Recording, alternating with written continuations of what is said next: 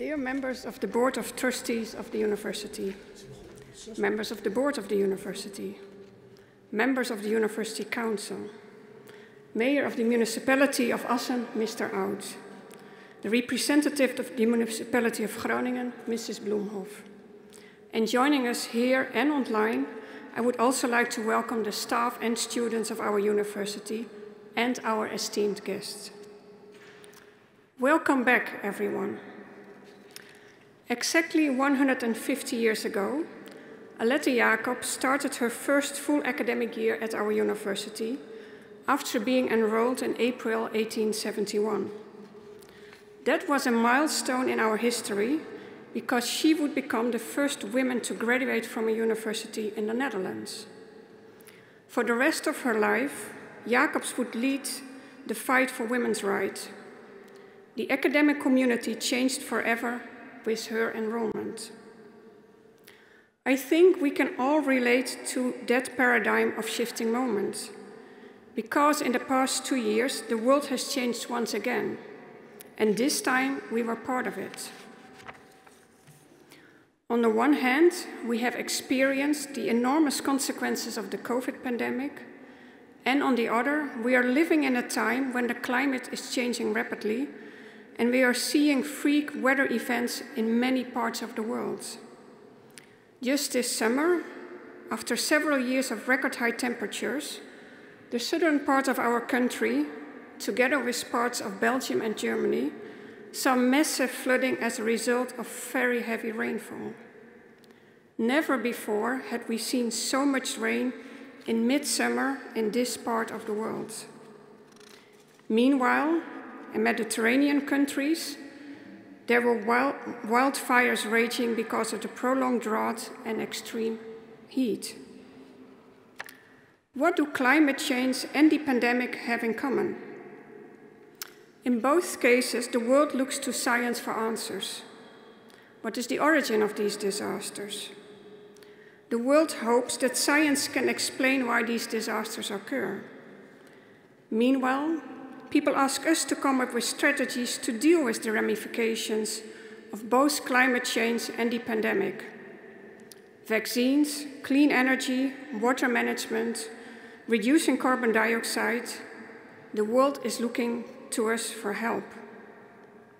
We, scientists and academics, are sincerely committed to work on these relevant, very relevant topics.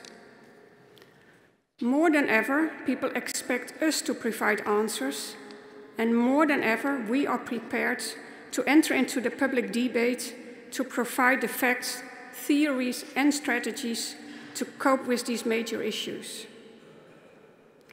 However, these great opportunities and enormous responsibilities also lead to a lot of criticism of the academic community.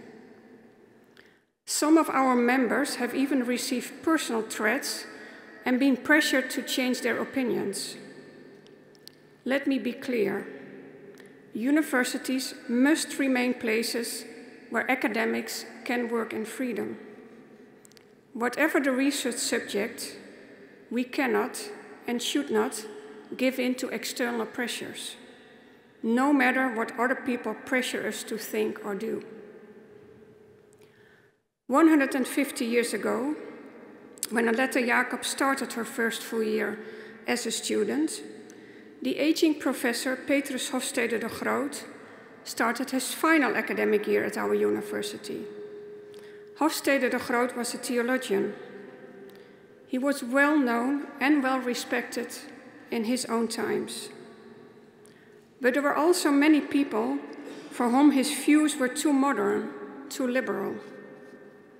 This landed him in some heated debates, during one of which he conceived the idea that academics should be allowed to have the freedom to pursue intellectual challenges. Without realizing it, this was the first time that the modern notion of academic freedom was formulated. As Aletta Jacobs, Petrus Hofstede de Groot helped change the university forever. At the beginning of the, this academic year, I want to draw from both the example that Aletta Jacobs set for us and from the ideas of Petrus Hofstede de Groot. The challenges we now face are large and many because the world is changing fast. The University of Groningen wants to be a place where there is a room for a broad range of ideas. We welcome people from all types of backgrounds with all sorts of ideas. And we think the university is a place where debate and challenging opinions should find a home, even when not everyone agrees with those ideas. Because we think that progress flourishes in an environment where there is a room for different opinions and different perspectives. It is our task to make sure that academics can work in freedom and pursue their ambition without fearing the repercussions of their work. This does not mean that we, the board of the University of Groningen, do not have ambitions or goals we want to achieve. These ambitions have been formulated in a new strategic plan for the coming five years and include two key elements the founding of new schools and collaborating in the University of the North. We want our, universi our university to be a part of a movement which can help answer the questions posed by society. For this, we strive to make room for new ideas. We are challenging our academic staff and students to carry out multidisciplinary research, to look further than their own fields, to think laterally, and to learn from each other. We do not want our students to be afraid of asking difficult questions or of starting debates on sensitive topics. In fact, we think the academic community should always continue to encourage, the, encourage them to do just this. We are looking for the new Aletta Jacobs and the new Petrus Hofstede de Groot, who both had the courage to challenge the world as they knew it. We also need to ask our researchers, our teachers, and our students to go out into the world. For too long, the universities were in ivory towers, secure and isolated from society. This has indeed changed over the past decades, but there is still much to gain. We want to ask you to make connections to society, to societal partners, and with the general public to spread your knowledge widely. Petrus Hofstede de Groot faced the fear of losing his appointment at our university when the church accused him of promoting views that were too liberal. Aletta Jacobs was first denied entry to a university education, and when she finally arrived, she was met with fierce opposition. Both of them overcame their problems and set us great examples to live up to. We too face some serious problems, but we can learn from our predecessors that we can find a way out of these problems. Today, we have two keynote lectures that connect to our ambitions. The second lecture will be given by Laurien Meuter, our alumnus of the year 2020. But first comes Alex Friedrich, professor of medical microbiology and infection prevention. He has been one of the most critical voices of government policy and public behavior during the pandemic. A true expert, he warned against having too little trust in what science can achieve. He will take the stage after our new strategic plan has been introduced in a short film. Since 1614, our university has been an open community, welcoming students and researchers from around the world. Through creativity, innovation, and collaboration, our academics have found ways to come up with new ideas and achieve groundbreaking discoveries. In the coming year, we want to ask you to contribute to the ambition of our university. These ambitions have been formulated in a new strategic plan for the university, which we are presenting to you under the title Making Connections.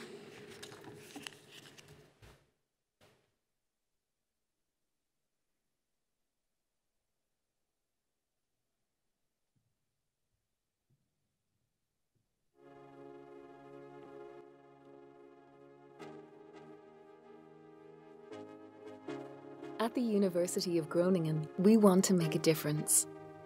We believe that science plays a crucial role in solving the challenges this world is facing. Not only through research and teaching, but through making connections between students, between lecturers, and between disciplines, with yourself, with our region, and with students, researchers, and institutions worldwide. All these connections lead to innovative teaching and interdisciplinary solutions, to new alliances and collaborations, to new ideas and insights. But most of all, they lead to students who are ready, ready to play their part in science and society. Because only by acknowledging each individual and each connection can we create a positive impact, make a change to the world of today and tomorrow. We are making connections. Will you join us? University of Groningen, an open academic community since 1614.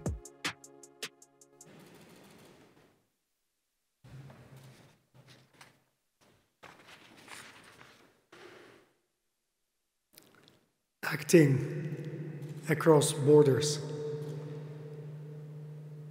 Sunday, the 23rd of February 2020. I will never forget this day. 48 hours after the first COVID 19 case was detected at Codogno Hospital, northern Italy, I was attending a teleconference by Italian colleagues witnessing the chaotic situation in emergency rooms of several hospitals in Lombardy. One and a half year later, we are still in this pandemic, but we are on the path for the way out. Vaccinations are and remain the game changer. Our adaptive immune response is since ever working as survival strategy of our species. One more autumn, one more winter, and COVID will be reduced and reduced from a global threat to continental epidemics, and finally, to an endemic infectious disease similar to flu. We will add one more chapter to our textbooks, and we will still need to learn and understand many things. The role of long COVID and the role of the virus in other diseases, such as diabetes, heart stroke. In any case, as we adapt biologically, so we will need to adapt as societies. Here lies our unique chance. The pandemic has changed our lives. In any case, I do not belong to the ones who hope to get back to our habits before 2020. And why? Because this pandemic has also accelerated innovative changes. Innovative changes in science. The crisis response showed the leadership of science in political decision making. Although medical science and virology were first on stage, it became clear to me that a crisis like this needs a transdisciplinary approach across the borders of single scientific fields, as Universitas was always meant to be. When there's no time to perform randomized controlled trials before decisions can be taken, and evidence needed to be generated on the fly, our classical review processes in science needed to change fundamentally. I see a future of living reviews, of living guidelines published once and corrected over time, automatically and based on ongoing knowledge. And the pandemic showed the strength of collaborative approaches compared to pure competition. Resilient scientific networks and ecosystems enable the creative mass for the emergence of single excellence. Judged upon scientific credibility, academic leadership, and societal impact instead of merely on publication impact and funding. But the most important ingredient for successful scientific ecosystems is, in my view, based on mutual trust, on true appreciation for each other's talents and successes. As universities, I am convinced that we need to adapt our indicators for performance that that collaborative excellence is fostered and we remain attractive for the generations of students to come. As innovative changes for healthcare, this global crisis has shown that more than any other event in the past 50 years, the societal value of healthcare. It shows how care and cure is not just one more sector, but a key infrastructure to society. It also showed how over efficiency can become a risk for our citizens. When a system falls short of nurses or simply of intensive care beds. With this new COVID 19 disease adding to extra morbidity, we need to recalibrate our healthcare infrastructures. More hospitals, more staff? Perhaps. A more innovative way would be to use common European infrastructure with cross border care teams. But to achieve this, we would need more Europe. Yes, Europe. Where has Europe been when the pandemic struck the first countries on our continent? Borders were closed instead of opening for securing every European with mask and test material.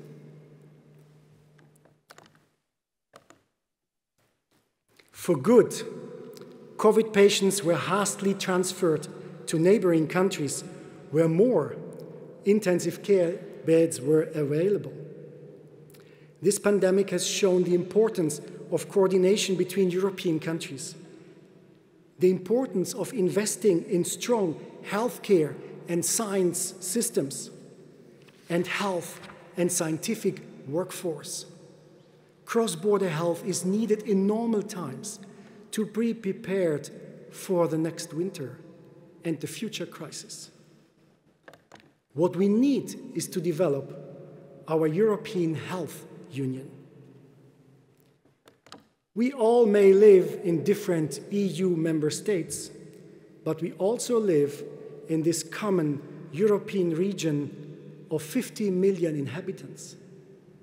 9 million 20% of them live and work in the region between Oldenburg, Enschede, Nijmegen, between Münster and Groningen. At our border, I feel the pulse of Europe, can learn from each other, and we can improve and innovate. Europe is not Brussels. Whenever we connect, then there is Europe a touchable Europe for all of us. In this, I envision our common European region of healthcare and innovation, a goal I will remain committed to. For that, I decided to cross the border again. But my heart will remain in Groningen and will always be connected to Groningen.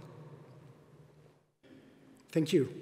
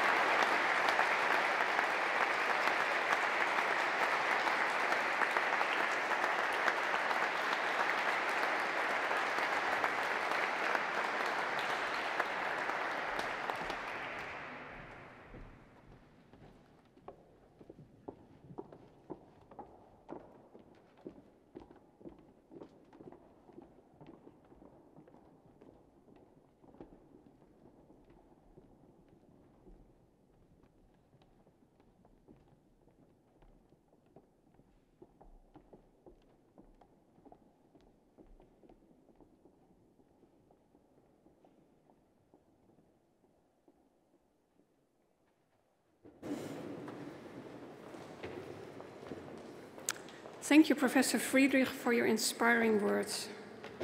On behalf of the board of the university, I want to congratulate you on your recent appointment as chairman of the University Hospital of Münster, although we deeply regret seeing you leave Groningen.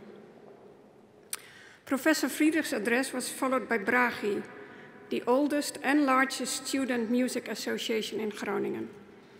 They performed Herr, nun lässest du by Felix Mendelssohn, conducted by Rein de Vries.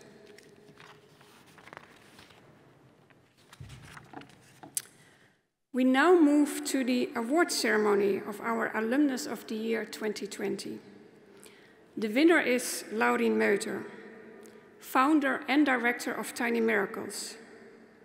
She abandoned a career in international banking and became an entrepreneur with a strong societal conscience. She is receiving the award for the impressive way in which she supports women and their families in the poorest slums of Mumbai. Meuter's Tiny Miracles Foundation aims to permanently lift one million people out of poverty. Let me quote from the jury rapport. Laurien Meuter represents several characteristics and values of the University of Groningen holds dear. She is a social entrepreneur who is committed to creating a sustainable society by using a multidisciplinary approach and vision. She takes international as well as local perspectives into account, is able to connect different worlds with each other, and bases all her actions on inclusiveness and equality. Laurien, I invite you to come up to the stage to receive the figurine that accompanies this award and to share some of your thoughts with us.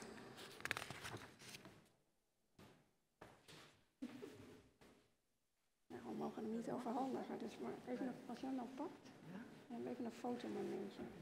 I don't know, oh there's the foto. Is het deze ja, dat is wel een beetje surf. dat is heel veel. Anderhalf minuut.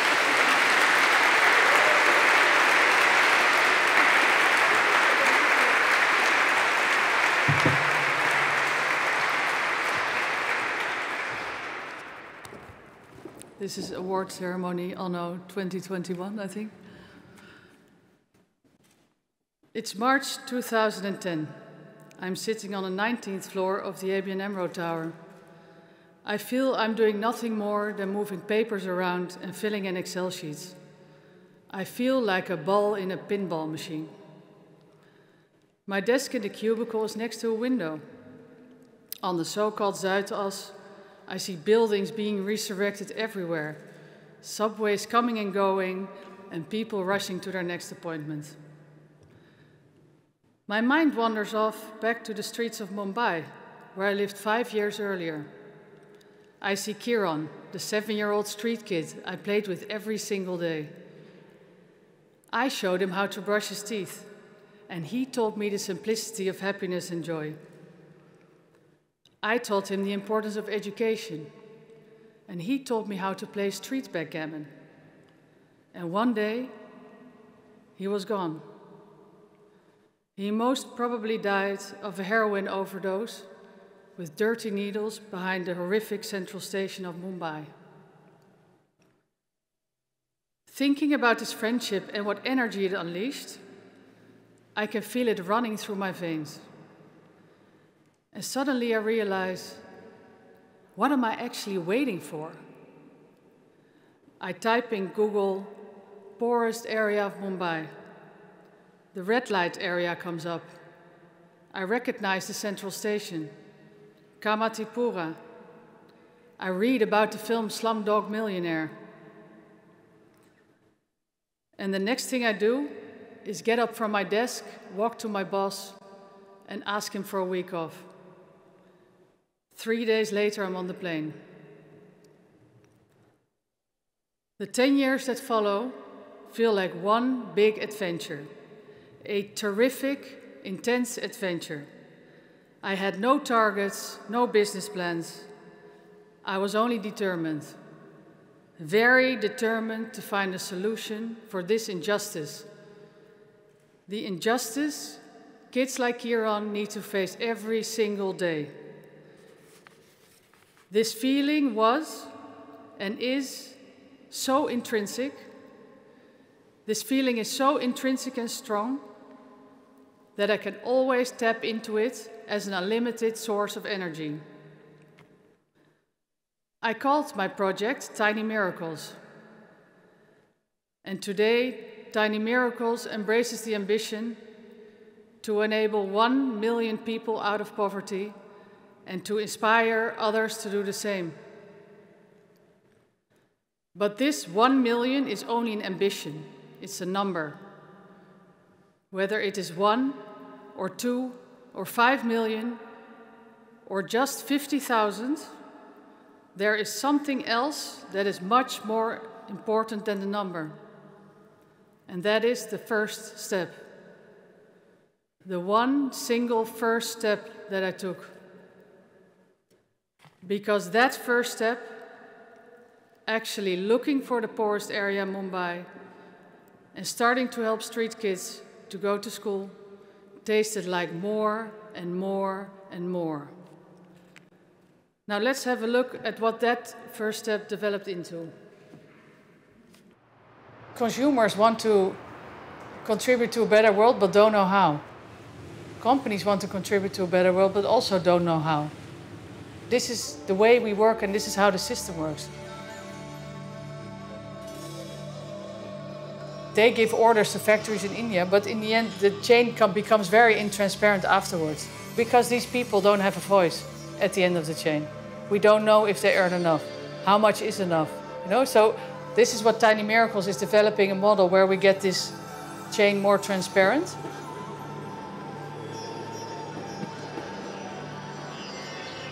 So I founded the Tiny Miracles Foundation 2010.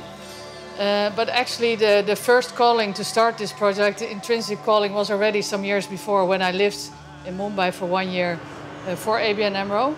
And where I met this uh, little boy, he was a street kid. He came from North India, but he didn't know where he came from. But he was playing on the train and then, um, then left the train in Mumbai, but he couldn't go back home. He actually taught me how to enjoy the little things in life. And I uh, taught him how to brush his teeth, how to wash his hands, you know, all the basic stuff. Uh, so I think that's where the seed was planted. Why do they keep in this vicious circle of poverty? What, what is the actual problem? So I also thought if you put a child in school, it solves, but there are so many other problems. For us, a big realization like you need to take a holistic approach, so touch the human in every sense, in every critical area of life simultaneously. So, not only education, not only healthcare, because it doesn't empower people. We realized pretty soon that to keep the kids in school, the children in school, we need to create, you know, the parents need to earn enough income so the children don't have to work. So I started searching for jobs in the in the area, but they never paid enough for them, you know, to be able to pay these school fees. Uh, so then I thought, okay, then the only thing we can do is create, you know, create products which we can sell in the Western market, but it must be products that people actually want to buy. So the first thing we came up with, my cousin, uh, who's a designer, uh, came up with this, is this leather lampshade. We started making this leather lampshade during the monsoon. And during the monsoon it rains, and if you if your roof is like a plastic sheet, it rains really badly inside. So what we did is we tried to finish it really fast and just threw everything in a box and shipped it to Holland. And after six weeks, we were all excited to open the boxes there uh, which we were supposed to deliver to a, a, shop in London actually, and it was full of mold. Like this, this all these green animals were growing on it and uh, and stuff. So that this was a no go. We we tried clocks, we tried everything, and then uh, Pepe, my cousin, who desi- who's the designer of these things, said, "Okay, if we can't make this work, let's go back to the uh, primary school." start folding pieces of paper. So he literally went with one uh, pack of uh, paper, he went there, and we started folding. And this is the first phase we folded. Um, So this is actually a vase cover. So because of we didn't want to ship big boxes, we thought let's make something flat packed which actually fits in a mailbox. So this is how this vase came to life. Plus it was very easy for unskilled people to make. And the nice thing is that soon after we launched it, the Rijksmuseum called us if we could make the vase for them too. So we started uh, developing vases for them with the night watch. We have many, many uh, artworks of the museum on the vase. And it, it, that's nice about this thing is that you can you can actually uh, customize it for, for any artwork.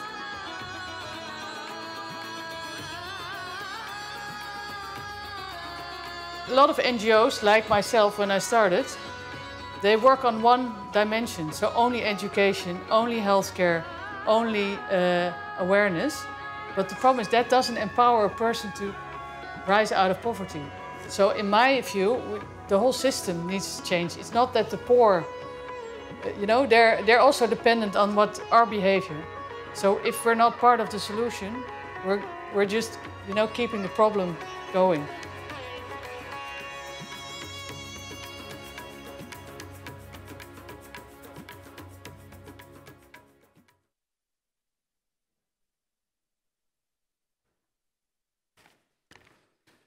Mm-hmm. I never expected to receive an award here today just for taking that first step 10 years ago. Can you imagine getting an award for just following your heart? And by the way, I find it very encouraging that the university is putting increased emphasis on an inclusive society, empowerment, and, and social entrepreneurship. In hindsight, I can see that here in Groningen, I laid the foundation. It was here where I started questioning the world around me, where I began the journey of discovering my values. And it took me till I was 32 to take action. And that brings me to you, the students starting this year. What I hope for and encourage you to do is to take that first step earlier than I did. Because you also, in this special time in Groningen, will start to question the way of the world around you. Now take those questions and do something about it.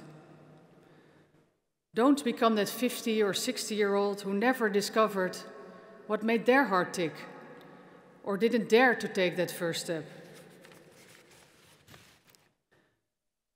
It's the acting on the questions that makes it fulfilling because that first step will taste like more. And it truly makes you feel good about yourself. Think about what choices you make every single day. People then ask me, but where do I start? And the answer is simple. And Mr. Thurman said it best don't ask what the world needs. Ask what makes you come alive and go do it. Because the world needs people who have come alive. And to be clear, your path is by definition a different one than mine or anybody else's in this world. So take the first step. If you feel injustice, change your buying pattern. Go into your local community politics Go help refugees. Do a beach cleanup with your friends. Or have a cup of coffee with your 99 year old neighbor. I did this two years ago, and he's here today. My neighbor, he was almost turning 100. He came all the way from Amsterdam. Um, but do, don't think about it too long. Do what makes you feel good and fulfilled. Just remember that the most important step is the first step from one to one million. Thank you very much.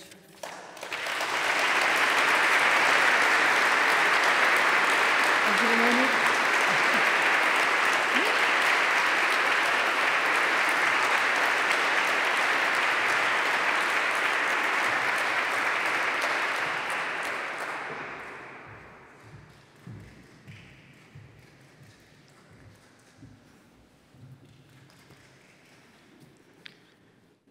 very, very much, Laurien. Indeed, a university only, is only as good as the students that graduate from it. It is therefore with great pleasure that I want to invite Tjitske Schokker to take the stage. I've known Tjitske for several years as a hard-working, diligent and talented student. In the past year, during the corona pandemic, she has worked as a student assistant on our Enlight project, which aims to enhance collaboration between several European universities. Tjitske Schokker's remarks will be followed by a recital by our new poet in residence, Laura Vermeijeren, that will read the poem Terug in Dutch. Her poem refers to reconnection, and we have a translation of the text for everyone here today and those watching online.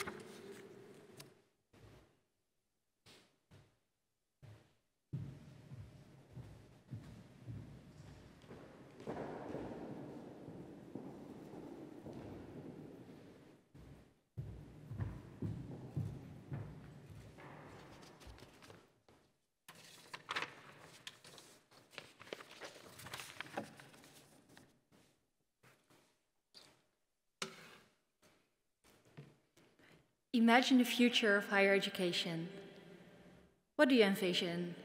Do you see holograms that allow you to work together with students and scientists from all over the world as if you're in the same room? Do you see flexibility in your curriculum that allows you to take or teach courses all over Europe or even the world? Or do you see virtual realities that allow you to speak with historical persons? Well, I for sure don't know what the future holds. But I do know that a lot can change in the lifetime of a student, which can be four or five years, or as in my case, a little bit more than that. When I started my bachelor's, I had no idea that I would end up in an internship where I had the opportunity to shape the future of higher education in Europe, or that I would even have the guts to stand up here today to give this speech. Before I tell you more about this project that I've been working on, I will briefly introduce myself. I'm uh, Tjitske. I study international political economy, but this is all information that you can Google about me as well. So I will tell you a little bit more about why I'm here today to talk to you about Enlight. About two and a half years ago, I was actually standing right here as well, or I think it was a bit more uh, that way. This was during the international welcome ceremony where I welcomed international students to Groningen. I did this in my role as a board member of ESN, or the Erasmus Student Network. And I hear you thinking, what does ESN have to do with this? Well, for me, that was the moment when I realized the impact that you can have as a student. And I also realized the value that international collaboration through networks has.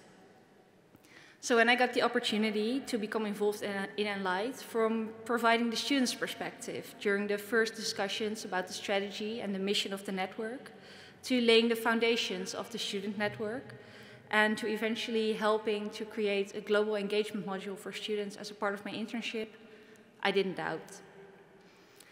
In the next couple of minutes, I will take you on a brief Enlight journey and before I do, I would like to warn you, because this is not going to be an exhaustive story, because there's a lot to tell you about this pretty nice network. But instead, my objective is to give you my perspective and to hopefully inspire you to learn more about Enlight and to maybe become involved yourself. So, what is it actually? It's an alliance of nine European universities that aim to transform European higher education as we know it. And it wants to empower students to become globally engaged citizens and to do this by establishing an open university system where students and staff can well move freely within the network. The past one and a half years, we have learned a lot about innovative education.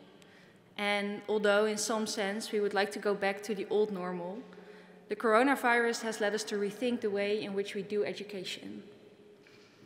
We have learned about the importance of personal contacts and lively in-person discussions, but we have also learned about the opportunities that, that the digital world has for us. It has provided students with disabilities or caregiving responsibilities athletes or students who are active in one of Groningen's many student organizations the flexibility to study regardless of time and place. And although we have also found that there is no one size fits all when it comes to the digitalization of education, distances and the way in which we perceive these have definitely become smaller. The mobility of people and ideas have been central in higher education for centuries. And Enlight builds upon this idea and helps to reimagine what exchange of students, staff, and knowledge might look like. Addressing complex issues like climate change, inequality, or digitalization requires a variety of new skills and knowledge. With shared courses and modules across the Enlight universities, physical and virtual exchanges, shared research projects, and the development of networks within the network, Enlight will be a platform for students and staff to come together and to create innovative and creative solutions for the challenges that we face today. And with these kinds of innovations and many more to come, Enlight will play a big role in creating the new normal of higher education. And in this process, we can make education more equitable, more sustainable, and more accessible. And this is also why students play an important role in all parts of this project, from developing the strategy to the governance, to also being the beneficiaries of the project, of course. Students are represented to ensure that the innovations within Enlight will actually add value to the students' education. So to conclude, Enlight is all about innovative education with the student at the center of the project. It aims to give students the skills and the knowledge that they need to address the challenges of our modern societies and to remove barriers to mobility whether this is through holograms or a little bit more flexibility in the curriculum. The future of higher education. I don't know what it holds, but I do know that this is the beginning. Thank you.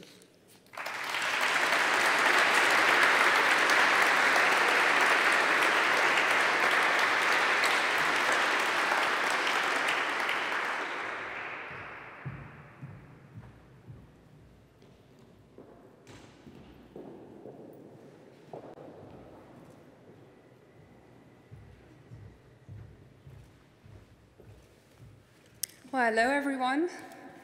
My name is Laura and I am the new uh, in-house poet.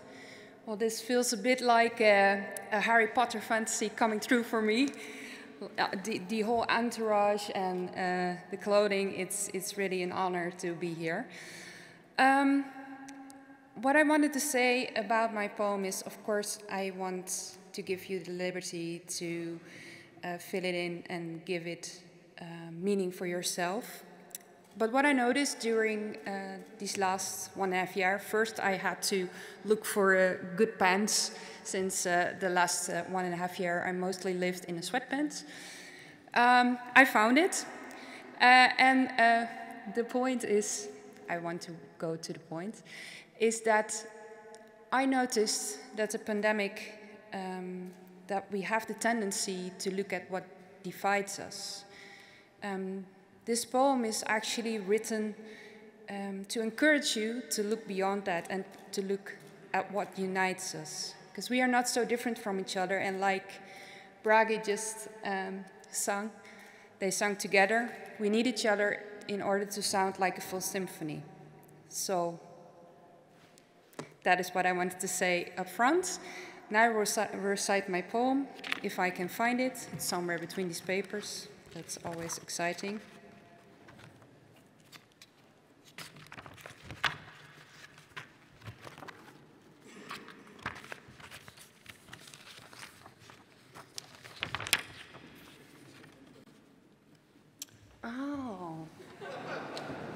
There you go. So, it's called um, terug in Dutch, and uh, as Siska already said, it refers to reconnection. Terug. Wellicht is het de iets naar voren hellende houding. Zijn het de denkbeeldige handen reikend naar een verkreukelde hypothese in een binnenzak. Nee, misschien is het meer nog hoe je zonder iets te zien naar iets kijken kunt. Mijn stem is nu al een tijdje naar binnen gekeerd. Mijn tong een log beest in mijn mond. De toekomst een onverzettelijk verlangen. En dan de rest van de wereld, die hoopvol bij je naar binnen gaat. Je ramen zijn als ogen waardoor je wantrouwend terug naar buiten tuurt. Maar juist daar vinden we elkaar terug. In een weerspiegeling, in een discussie. Onze verschillen een ankerpunt. Dank jullie wel.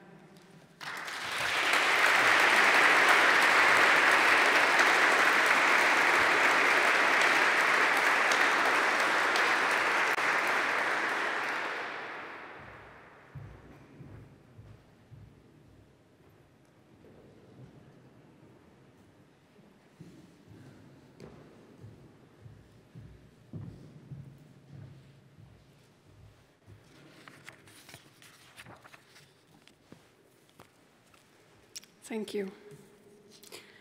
This brings us to the end of the ceremony. You can find more information on the speakers and performances on our website. I understand that the coming period will be one of uncertainty, in which we need to find how we can interact with each other in a responsible way, while we all crave more human contact. I want to recall the enrollment of Aletta Jacobs one more time. Her acceptance in academia, into academia was a pivotal moment in the history of our institute and of our nation. People were uncertain what it would mean. Looking back, we can all agree that it was a challenge for the better. Which is why we asked Professor Gerda Croiset of the University Medical Center to record a short webinar on the impact of Jacob's enrollment. It will be shown on the same YouTube channel directly after this ceremony. Thank you all and have a great year.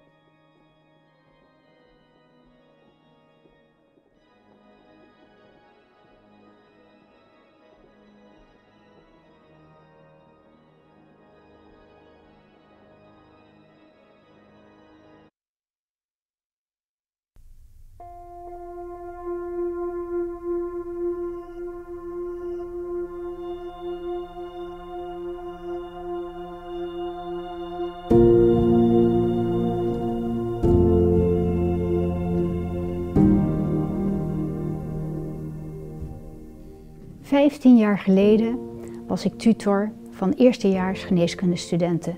Twaalf stuks, allemaal meisjes. Ik vertelde dit aan een collega van diergeneeskunde en die zuchtte. Hij herkende dit.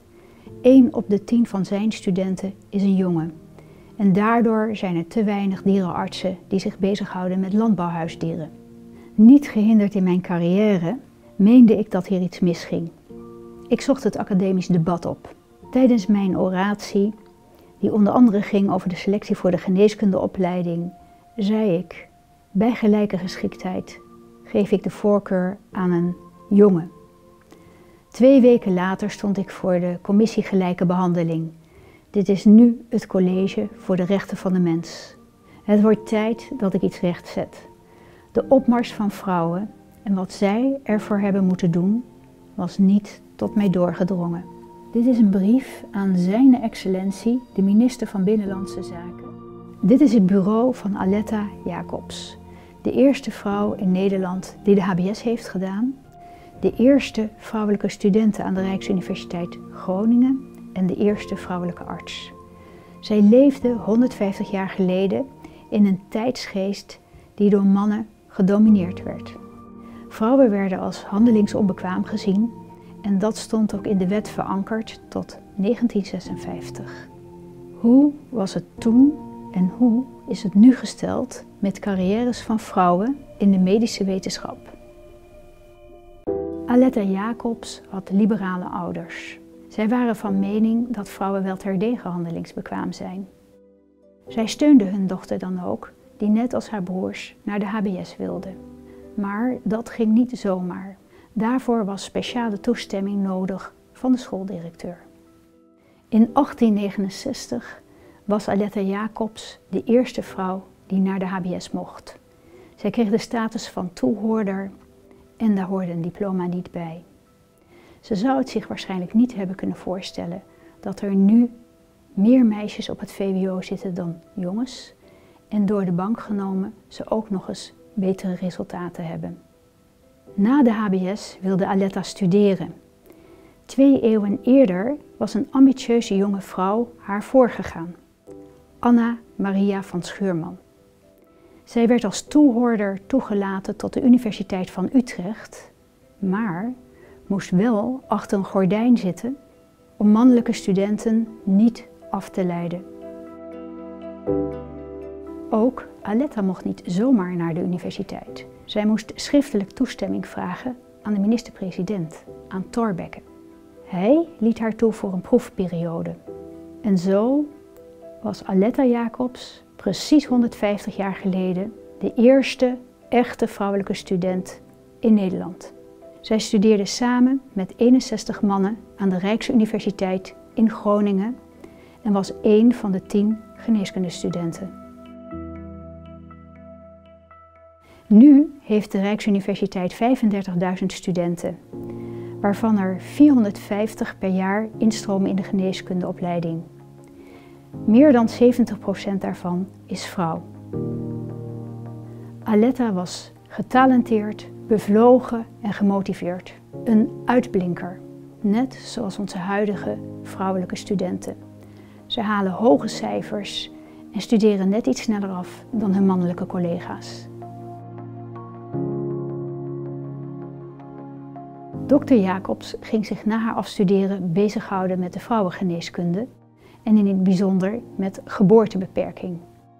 In die tijd kregen vrouwen 12 tot 13 kinderen of waren onderweg in het kraambed overleden. Pas in 1970, met het beschikbaar komen van de pil, kwam geboortebeperking opnieuw onder de aandacht.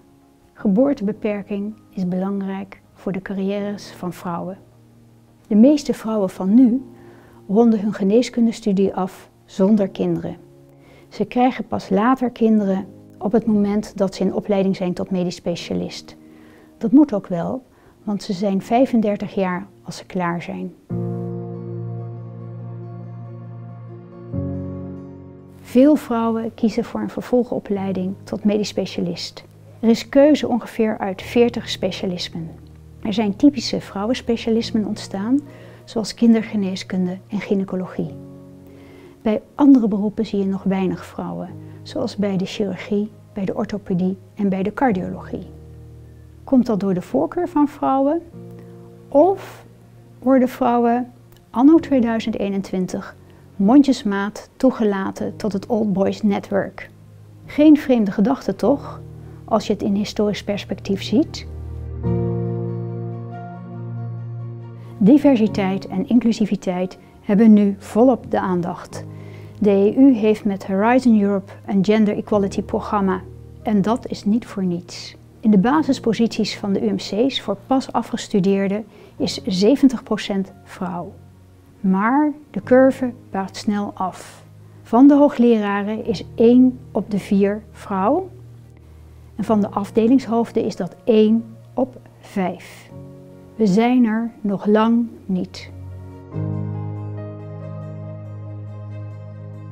Tot slot, toch een hoopvolle ontwikkeling. Ik spreek de wens uit dat over 150 jaar, bij een volgende Aletta Jacobs lezing, er kan worden teruggekeken naar de baanbreeksters van nu.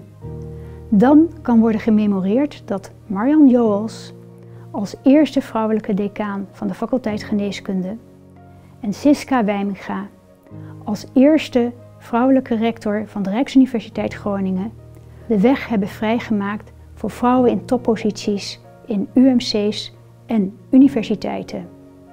Groningen aan kop met vrouwen aan de top.